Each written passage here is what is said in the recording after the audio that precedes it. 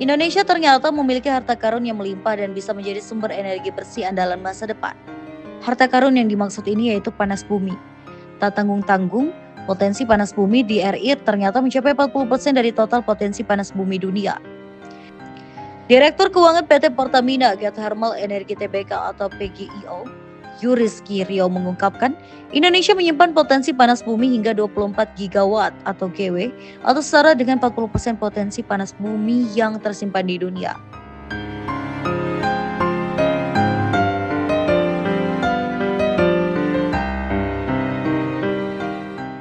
Rio mengatakan panas bumi memiliki keunggulan yang tidak dimiliki oleh sumber energi baru terbarukan lainnya, terutama dari sisi keandalan dan kestabilan produksi.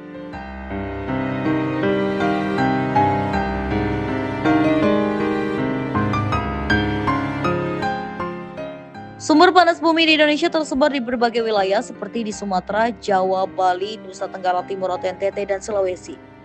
Hal ini juga masih sejalan dengan pusat permintaan listrik rata-rata berada di Jawa dan Sumatera. Ketika pemanfaatan pembangkit listrik tenaga uap atau PLTU batubara semakin dikurangi, maka panas bumi bisa menjadi sumber energi bersih pengganti yang bisa diandalkan. Berdasarkan data dari Pertamina dan Tim Geoenergi yang diolah tim CNBC Indonesia Research, Indonesia masih merupakan negara terdepan dalam hal pemanfaatan geothermal dengan kapasitas tinggi, instalasi yang terbesar, dan utilisasi yang cukup baik. Namun, Indonesia baru memanfaatkan sebesar 10% atau sebesar 2,4 gigawatt dari total potensi panas bumi yang ada di dalam negeri sebesar 24 gigawatt. Sebelumnya, Ketua Umum Asosiasi Panas Bumi Indonesia API sekaligus Direktur Utama PGEO Julfi Hadi mengungkapkan, dari potensi 24 gigawatt atau GW panas bumi yang dimiliki Indonesia, tercatat baru hanya 2,4 gigawatt saja yang dimanfaatkan.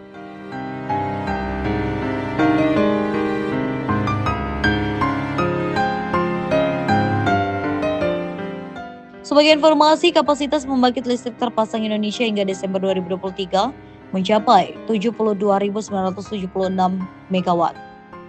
Artinya, kontribusi pembangkit listrik tenaga panas bumi PLTP saat ini hanya sekitar 3 persen. Apabila utilisasi PLTP Indonesia dapat dimaksimalkan hingga mencapai 100 persen, pemanfaatan sumber energi geothermal dapat mencapai 32 persen dari total kapasitas pembangkit listrik saat ini. Eh, kita kan quite aktif melakukan non-deal roadshow ya, having a constant dialogue with investors yang baik ada di global maupun ada di level domestik gitu ya. Dan kalau saya bisa simpulkan tarik benang merahnya, most of the input atau feedback yang mereka berikan itu ada dua yang mereka expect sebenarnya. Yang pertama adalah penambahan kapasitas in terms of megawatt capacity dan yang kedua adalah power purchase agreement yang baru ke off taker gitu kan.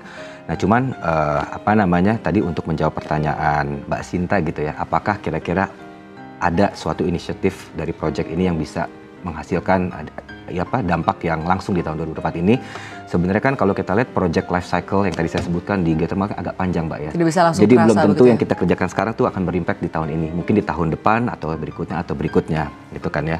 Nah mungkin saya mau membahas pertama dari yang potensial penambahan kapasitas.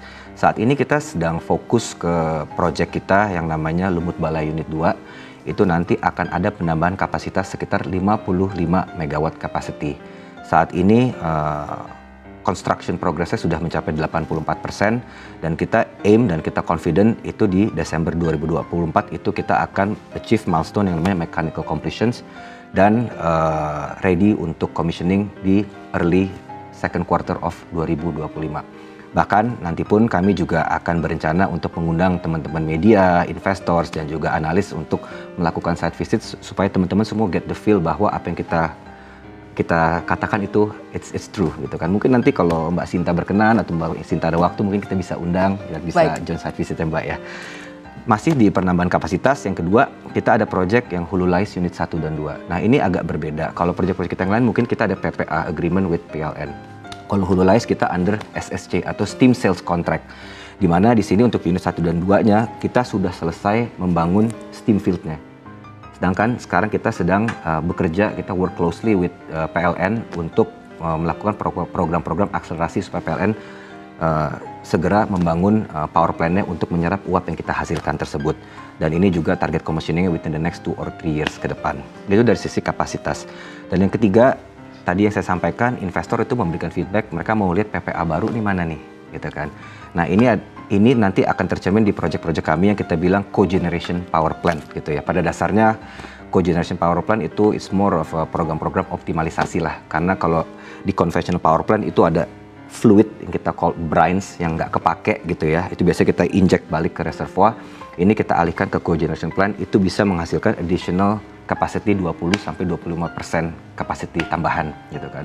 Nah dari sini kita di project Cogen ini kita udah uh, apa namanya uh, melihat bahwa potensinya ini dari project Cogen itu bisa mencapai 230 megawatt capacity dalam waktu sampai dengan 2030 dan kita di sini juga nggak sendiri, kita having a collaboration strategic partnership with PLN IP untuk membangun cogen power plant ini, di mana progresnya has been really good. Di awal tahun ini di bulan Maret 2024 kita telah signing joint development study agreement dengan PLN untuk potentially develop the whole 230 megawatt capacity. Kemudian kita ada progres di bulan April atau di bulan Mei dengan PLN juga untuk membang, uh, joint development agreement untuk mulai pilot projectnya fokus ke 45 megawatt capacity terlebih dahulu dari area kami yang ada di Pulau Belu dan di Lahendong. By this year kita aiming untuk bisa signing consortium agreement dan hopefully by next year kita udah ada PPA baru sebesar 45 megawatt capacity dengan uh, PLN. Dan selain itu kita saya yang tadi saya sampaikan bisa dibilang itu kan quick win project kita. It's a it's a low hanging fruit lah karena sebenarnya udah melewati masa-masa eksplorasi sehingga risiko semakin kecil. Tapi secara paralel, of course kita juga melakukan beberapa proyek yang sekarang sifatnya eksplorasi seperti Lahendong 78 dengan 40 megawatt capacity, kemudian Gunung 3 dengan 55 megawatt capacity dan masih banyak proyek lagi yang mungkin saya nggak punya waktu untuk saya sebutkan satu-satu di kesempatan kali ini. Baik, artinya memang banyak proyek-proyek ya yang diharapkan dapat uh, memberikan dampak positif ya, ya kepada kinerja keuangan dan juga mungkin bisa menambah laba bersih ya Betul. untuk di tahun 2024 ini. Lalu membahas mengenai strategi dari PGI untuk bisa menghadapi tantangan dan juga hambatan-hambatan yang ada begitu ya. Bagaimana sebetulnya PGI agar bisa tetap uh, tumbuh positif begitu, apalagi jika kita membahas mengenai kinerja keuangan -hmm. di tengah berbagai tantangan yang ada saat ini. Ya. Sebenarnya strategi kami untuk menghadapi tantangan yang potentially muncul ya di paruh 2 2024 ini sebenarnya is quite simple which is untuk mensecure dan memaksimalkan produksi uap dan listrik gitu kan. Karena kalau saya boleh ambil contoh ya di salah satu area kami Karaha saat ini Karaha itu beroperasi dengan install capacity sebesar 11 megawatt gitu kan. Nah gladly uh, kemarin kita melakukan another drilling uh, ada di nama di nama sumurnya sumur Talaga 3.4 kita berhasil mendapatkan additional capacity of 4 megawatt tambahan, Mbak. Yang yang kita lakukan sebenarnya akhir tahun tinggal melakukan piping works sama uh, tie in ke pembangkit. Jadi by tahun ini kita akan memiliki ekstra dari Karaha yang tadinya 11 megawatt capacity akan menjadi 15 megawatt capacity. Dan lebih baiknya lagi ternyata hasilnya itu pas kita lakukan drilling di sumur yang 3 4 tersebut dari Karaha pressure-nya itu sangat baik sehingga itu bisa menghasilkan output yang sangat baik. Sehingga kami confident bahkan ini bisa menarik ke tahun-tahun berikutnya. Di tahun 2025 kita akan melakukan drilling di uh, untuk sumur 3.5 dan 2026 untuk sumur titik uh, 3.6 jadi by end of this year Karaha yang tadi 11 megawatt capacity kita akan menjadi 15 megawatt capacity.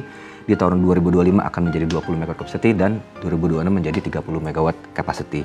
Contoh lainnya masih ada lagi seperti uh, di area Ulu Belu, Sibayak dan dan sebagainya. Selain itu kami of course tadi yang saya sampaikan uh, secara rutin untuk melakukan uh, pemeliharaan-pemeliharaan, kemudian perbaikan-perbaikan atau work over sumur-sumur yang ada di seluruh area yang kita uh, miliki saat ini.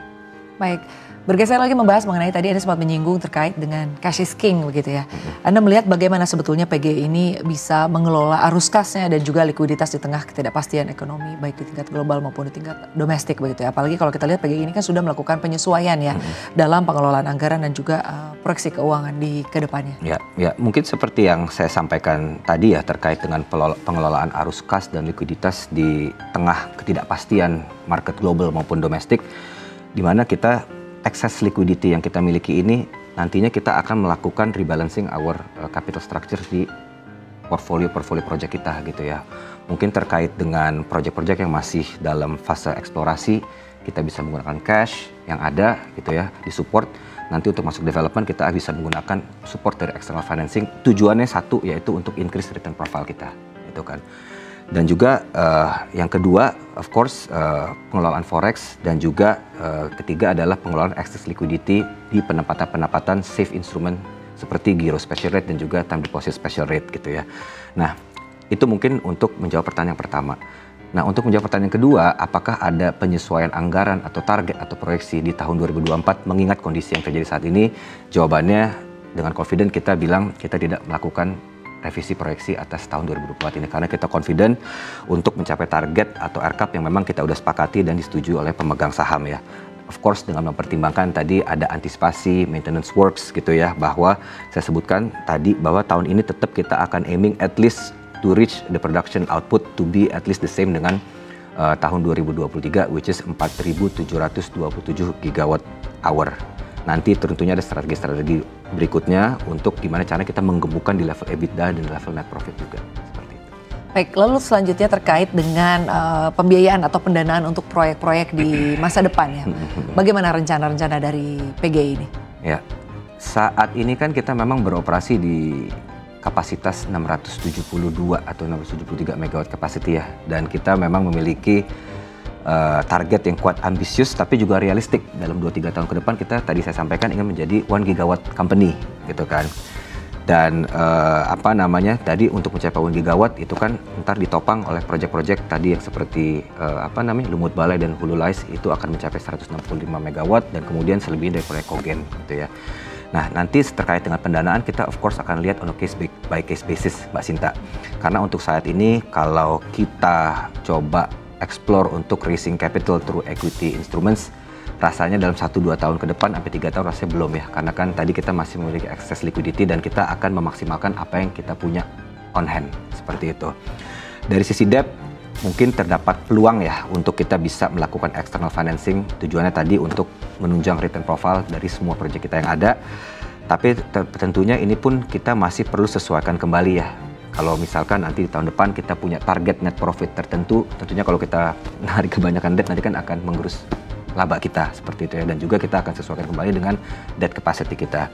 Nah, tapi mungkin untuk uh, pendanaan menggunakan menggunakan utang atau debt itu possibly at the earliest mungkin kita akan memerlukan atau bisa mengekspor di tahun 2025 untuk keperluan pendanaan atas proyek Kogen yang tadi saya sampaikan the pilot project Kogen sebesar 45 megawatt capacity.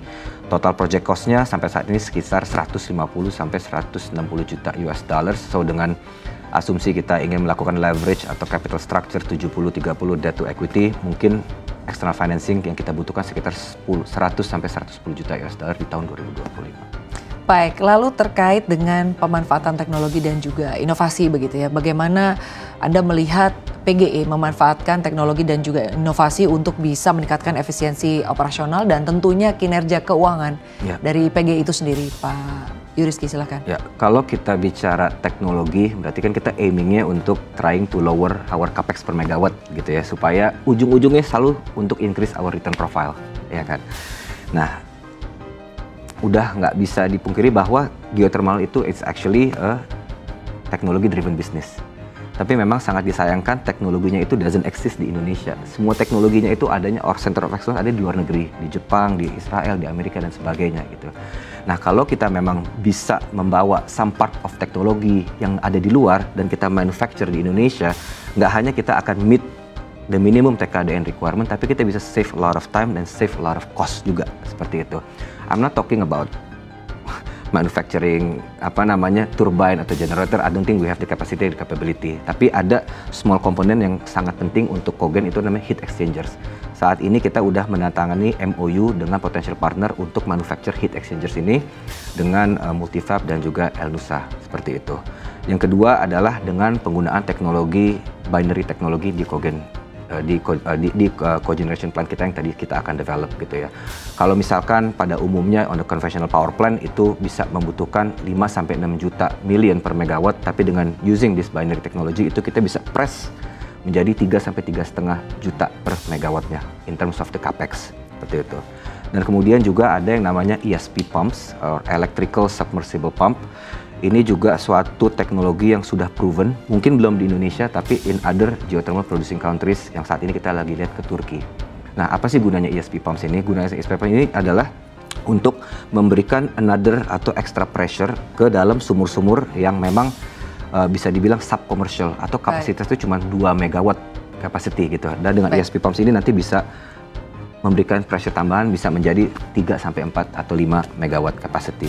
Dan juga yang terakhir di sini juga ada teknologi yang kita ciptakan nih asli dari PG namanya Flow to Max. Ini two phase flow meter yang diciptakan oleh rekan kami Pak Husni dari tim operations kami di mana two fax apa flow to max ini bisa mampu memberikan hasil pengukuran yang lebih andal secara real time sehingga kinerja sumber produksi dapat dipantau secara real time dan juga secara akurat. Untuk ini pun kita juga udah melakukan MOU dengan potential partner Ecolab untuk manufacture secara uh, apa namanya secara luas.